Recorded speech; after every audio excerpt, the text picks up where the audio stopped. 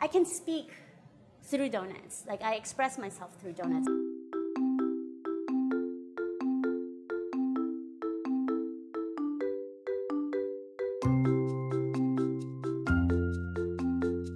Hi. I'm Madame Donut, and I own Donut Dynamite with my husband.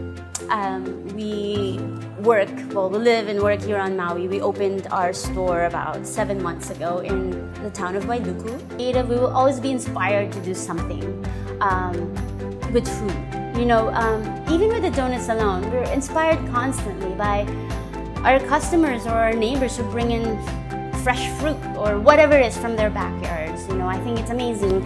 Um, we change our menu every day based on what inspired us that day.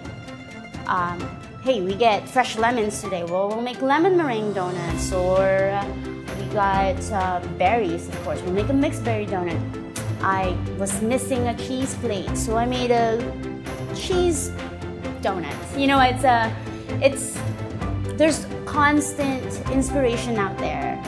So our workday usually starts somewhere around anywhere between 10 p.m. to midnight, depending on the day of the week.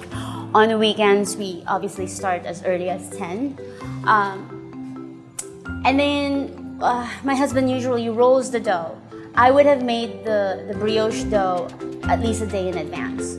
So that the dough has been rested by by the time my husband rolls the dough, around 10 or 11 p.m. Um, after he rolls them, the doughs have to rest for a few minutes, anywhere between 45 minutes to an hour before we can cut them. We cut them, we proof them, we fry them, we cool them, we glaze them. I, I can speak through donuts. Like I express myself through donuts. I, people come in here and they get so excited and just look at me like, oh my God, thank you so much for doing what you do.